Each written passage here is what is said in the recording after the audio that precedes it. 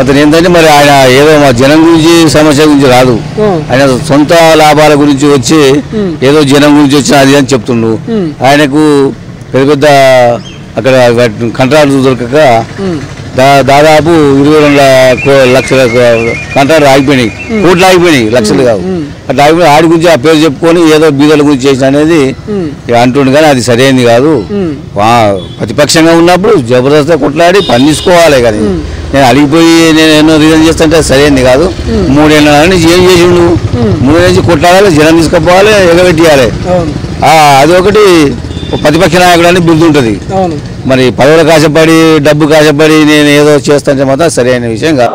మరి ఈ ఎన్నికని ప్రతి ఒక్కరు కూడా మీరందరూ కూడా మీకోసం నా కోసం కాదు మాకు ఎలగబెడుతుంది కాదు. ఇప్పుడు మూడేళ్ళ నుంచి ఎలగబెట్టలేదు ఇప్పుడు ఏం కాదు.